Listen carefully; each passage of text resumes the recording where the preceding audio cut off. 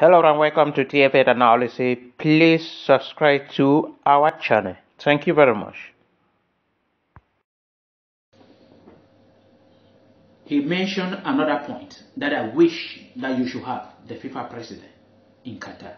He also made a statement that only engagement can bring real change, not gun, not war weapon, not nuclear power or whatsoever, or missile can bring any change in the world.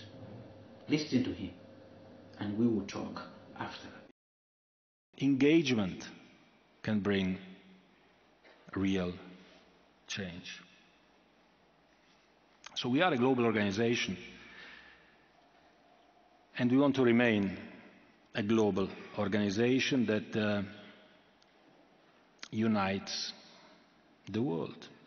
And I was convinced, and I'm still convinced, even though now I don't know how optimistic I, I still am, that this particular World Cup will help to open the eyes of many people from the Western world to the Arab world.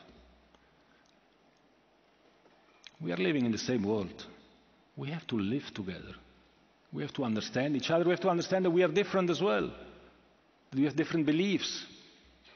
That we have a different history. That we come from different backgrounds. But we are in the same world. We need to get along with each other. And to get along with each other, we need to know each other. And that's, why, that's, how you, that's why you have to come here and you have to tell what you see. And when you see something that is wrong, say it. And say also how it can be rectified. Please.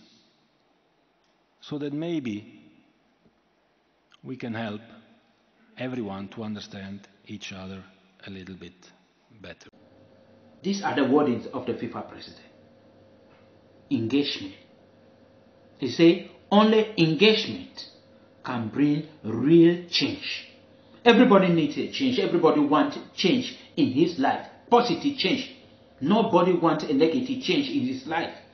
In this world, everybody wants real change, positive change. But nobody is doing something positive. They talk about climate change.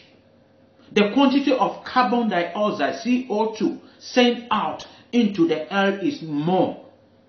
Let's look for a way to reduce it. The developed country, developed country, European country, China, Americans, United States of America, and many other developed countries that are sending out the carbon dioxide into the air. They are doing nothing.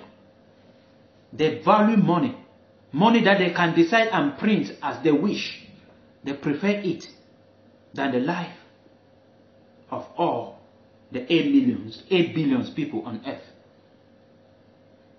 Real change, real change can only come through engagement, positive engagement, negotiation, engaging with one another, collaborating with one another, treating one another, and feeling for one another.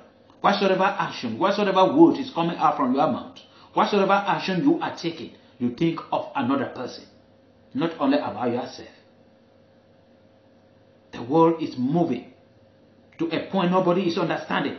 Terrible things are happening every day, despite all the discovery. Yet, the selfish, the wicked group of people say they will maltreat others. When you say others will not sleep, you too will not sleep. Because when they will not sleep, they will disturb you from your own sleep.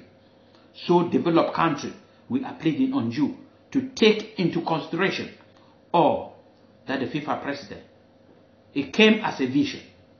You might take it to just be just a statement that he was making, or just out of anger for all the criticism that came concerning the World Cup in Qatar. But it's more than that. If you listen, it will wisdom you will understand that he indirectly gave all the solution to the problems we are having.